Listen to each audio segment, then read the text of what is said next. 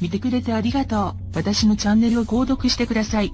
新しい動画が届くと通知が届きます。10月31日の投票日に向け、世間は選挙モードに突入している。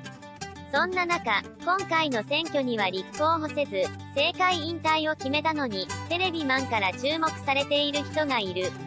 国民民主党の山尾志織氏47だ。元政治家コメンテーターとして、早くも当選確実なんだとか。問題はご本人のやる気次第というのだが、アスタリスクアスタリスクアスタリスク。山尾氏といえば、小学校6年の時にミュージカル、アニーの初代アニーを務めたタレント性、そして美貌の持ち主であり、東大法学部卒業後は司法試験に合格して検察官になった再演でもある。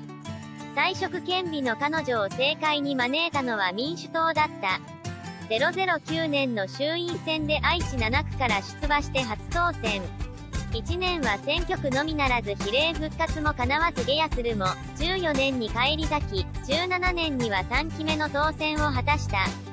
ダブルコートやめ県らしい絶望鋭い国会質問や憲法問題などで働く姿が注目される一方で、不倫騒動や政治資金問題、議員パス不適切使用などあまたのスキャンダルに見舞われた。引退を発表した彼女は多くのインタビューに答えているが、誰もが思うのは、なぜ辞めるのかということだ。スキャンダル報道のせいなのか、そのため当選できないと思ったのか。山尾、報道がどうとか、当落の可能性で自分の行く末を決めることはすでにやめている。自分がどの立場で社会貢献するのがベストかということで決めた。時事通信9月0日月山尾、それが原因なら週刊誌報道が出た前回選挙で辞めた。当落の可能性では判断していない。朝日新聞10月15日付。菅野しおりで再スタート。もっとも、前回の選挙の時とは違って、不倫相手の元妻の自殺、自身の元から損害賠償請求訴訟を起こされるなど、状況はより深刻化している。では、引退後は何をやるのかと問われると、山尾、私自身、悪名も含めてある程度の知名度を持った状況で思うのは、所詮知名度は、箱。ゴミを入れればゴミ箱、宝石を入れれば宝石箱になる。中身や発信の内容で勝負をしていきたい。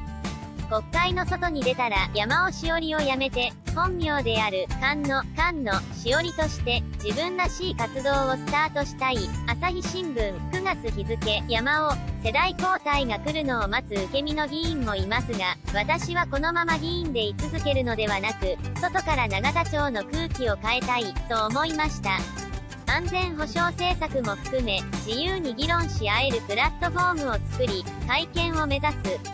そんな、令和の自由民権運動をやりたい。休刊富士9月3日付、具体的に何をやりたいのかピンとこないが、そこに目をつけているのがテレビマンだ。民放ディレクターが言う。